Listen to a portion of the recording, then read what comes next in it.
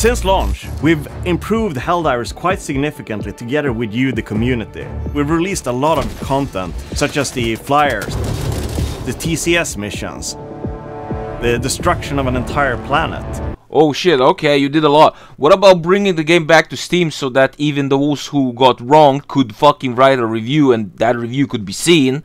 Uh, actually able to buy the game again on Steam without going around the fucking system and buying from fucking third world countries or somewhere else. Uh, what about the fucking war bonds that literally add jack shit nothing to the game, but yet again you fucking spam them? They don't add enough nothing good. They're just balance issue. And oh yeah, the balance you can constantly improve. Then you say this is game changing balance. This is good when it's not good. Um, fucking hardware utilization is trash. Fucking high end PCs. You gotta have a fucking tank just to run a little fucking cart. Anyway, continue please. This time around, we've got something special prepared for you. It's our first step out of many where we're gonna expand the game in big meaningful ways. New game modes, new objectives, new enemies, and even a whole new difficulty. To give you that, we have to escalate it. An escalation of freedom.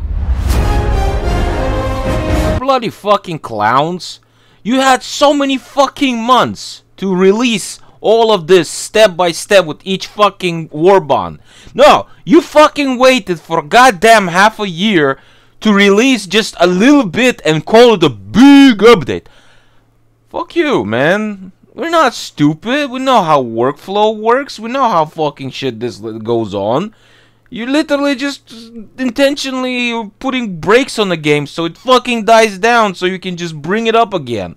Instead of continuously holding on the fucking community in proper ha happy health. And I don't even want to bring out the fucking stupid the game is not on Steam store. When freedom escalates, its opponents escalate. We're bringing back a fan favorite from Helldivers 1.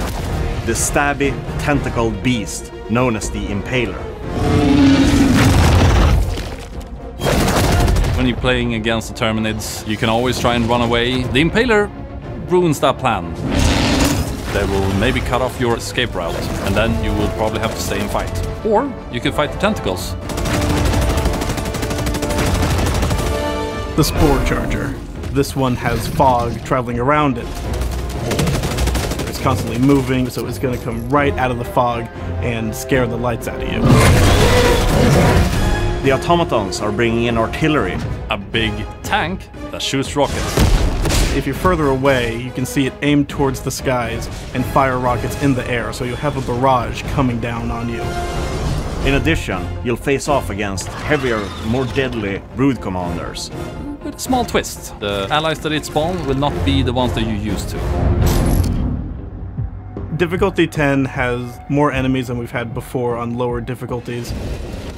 We've really ramped it up. It's meant to feel like a real progression from 9 to 10. We're also introducing a larger type of outpost, and it's going to be a real challenge to take on these massive fortresses.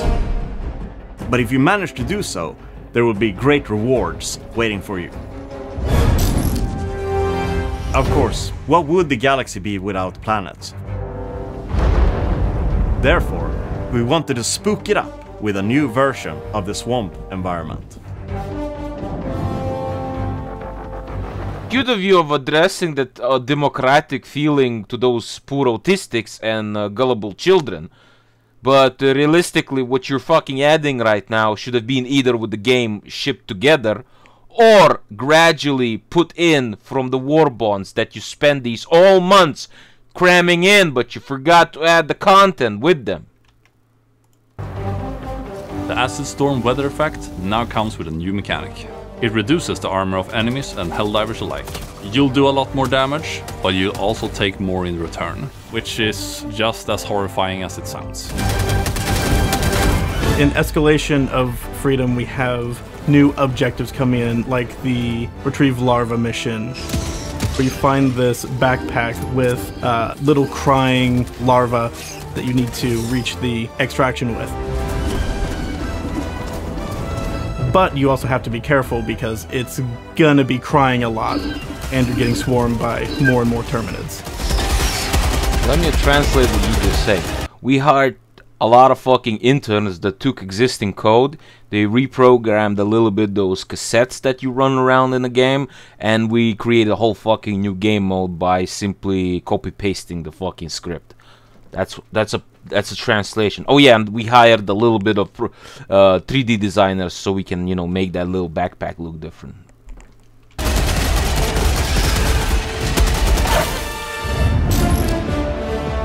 With the Second Galactic War in full swing, Super-Earth is currently battling the automatons and the bugs for control of the Milky Way. The Automaton Legion, they are constantly building bigger and worse war machines. The Terminids' uh, migration patterns seem to be changing. There's also been some irregular readings of the Terminid spores in the various sectors where the Terminids are spreading. And we will see where the story develops from here. So, have we told you everything that's gonna be in the Escalation of Freedom? Of course we haven't. We have many more surprises in store for you. A surprise here and there that you maybe didn't expect. On August 6th, I'm ready to dive, and I hope you are too. You're talking like the game is actually gonna be better after this. No, it's not. It's just gonna be the same fucking rinse and repeat because all the missions are the same everything you do is the same. There's no variation from planetary defense to planetary offense to planetary cleanup. The fucking search and destroy missions are fucking retarded. Uh, this uh, kill missions are retarded because they're just standing in one spot. You don't even go around protecting specific spots where the invasion is happening. The only probable good thing you added was the fucking Lord of the Rings goddamn defense mission. Everything else is bloody the same. Go launch nuke, go fucking put key code, go fucking harvest something on the map, go do that, go turn dot off, blah blah, it's the same over and over. Yeah, war is similar, yes, I know, but but come the fuck on. You could just make a mission where you actually see an invasion coming. You could fucking do that. You could pre preemptively make people defend an area by moving in the area, and you could just make so much more by simply opening the goddamn game's code. I fucking see it, it's simple. No, you don't do that because you know if you put too much fucking effort in the game, the player base will simply get spoiled and you will not be able to cash out those fucking war bonds. This is TermusJar on over and out.